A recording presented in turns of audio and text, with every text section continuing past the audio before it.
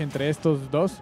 Parece que Gumi se va con la confiable, la vieja confiable, que es esta Lucina, y Osiroth con su Wi-Fi Trainer, ¿eh? Aquí tenemos este ya el primer match. Osiroth haciendo daño con, con su Wi-Fi Trainer, pero eso... Gumi, las, este Gumi, las conversiones aéreas que estaba realizando, no le subieron rápidamente hasta 74 a Osiroth. Ahí tratando de buscar los nerfs, pero ahí Osiroth revirtiéndolo muy bien con esos, con esos aéreos. Parece que ya también es el top 8 de la choza de los pequeñines. Y ahora ambos están manteniéndose en la esquina izquierda, buscando el centro, pero pues la situación está bastante pareja. ¿eh? Osiroth está sufriéndola un poquito, ya que esa espada de Lucina es muy, muy consistente, genera daño muy rápido y no se anda con juegos. Así es, y ya parte de los dos. Uy, ese side B que se le va a llevar el Dancing Blade, bien hecho por parte de Gumi.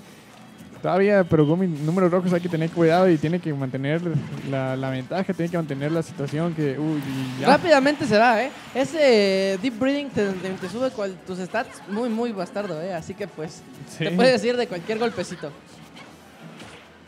Pero todavía ya Osiroth con un 33% de daño, poco a poco va generando lo Gumi. Poco a poco simplemente le está conectando los pies en la cara y todo lo que, todo lo que le guste. Y ahí saliendo ahí con los pers, bien hecho por parte de Gumi, tratando de hacer el, el edge.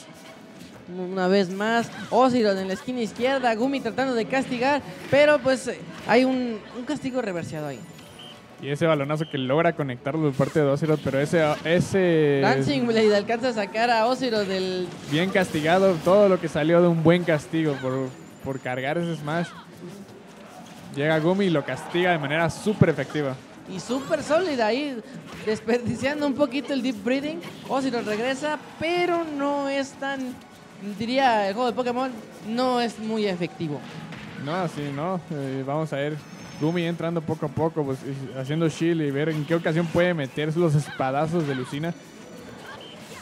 Efecto una vez más usando el down smash, pero una vez más es castigado, así que la situación ya está un poquito desventaja para Osiroth, porque pues Gumi no, no le está perdonando nada. Esa situación que ventaja la está extendiendo con éxito. Así es, Gumi ahí manteniendo la dominancia en este match, en los últimos minutos del match. Ese Fer que conecta, vamos a ver si puede conectar bien. El, lo- este Dancing bien hecho por parte de Gumi. Vamos a ver si ya logra llevarse a, a Osiroth.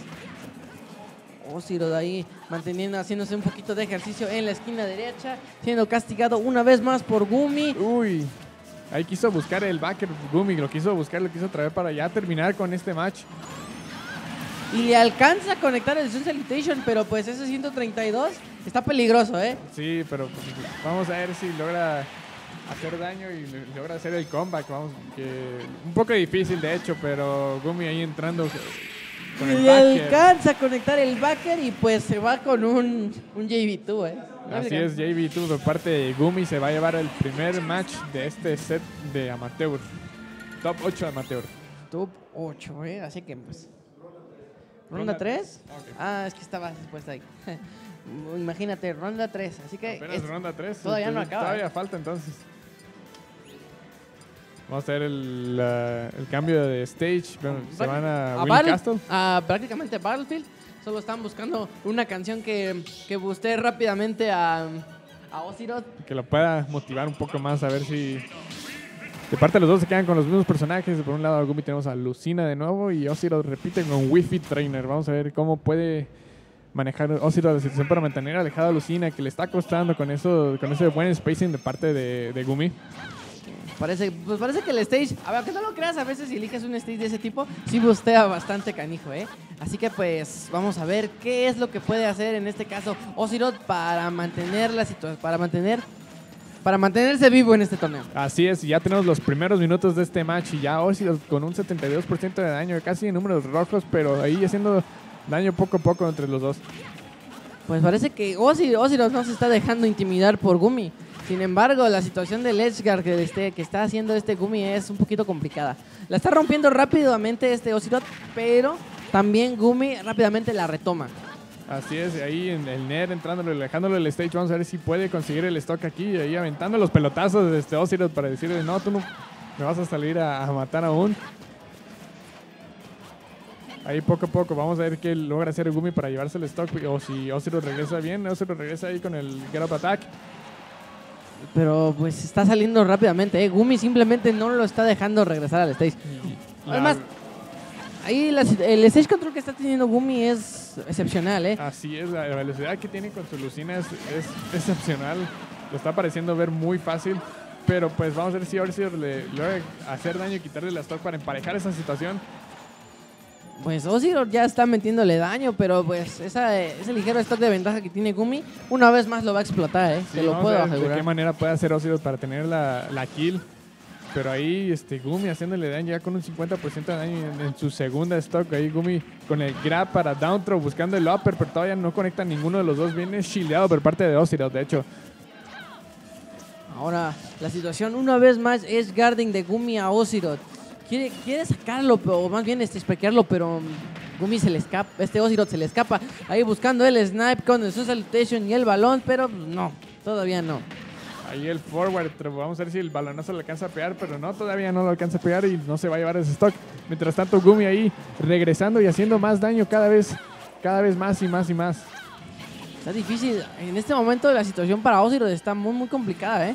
Gumi simplemente está demostrando la maestría que está teniendo en el set. Sí, ahí. Uy, el spike bien hecho por parte de Gumi ahí buscándolo lo- en tres ocasiones, tratando de buscarlo para quitarle el stock y ese spike lo logra terminar.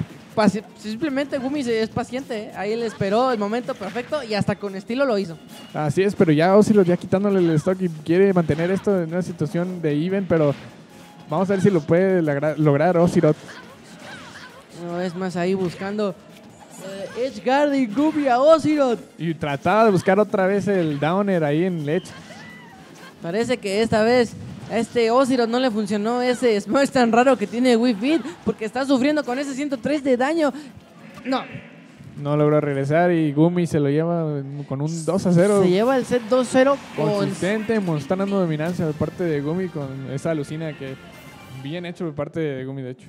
Consistente, macizo, sólido, duro y lo que ustedes gusten, señores. Así es. Excepto lo que están pensando, ¿eh? Es- así que pues vamos a ver quiénes, quiénes son los siguientes pequeñines en acercarse aquí a las pantallas de stream para, para pues demostrar su skill frente al mundo, prácticamente, porque esto pues todo el mundo lo ve. Y si no todo el mundo lo ve, tarde o temprano lo verá. Así es. Esto queda grabado para la historia, aquí en la historia de Smash Festival. En la historia de Querétaro, en la historia del Smash, en la historia de México y en lo que gusten.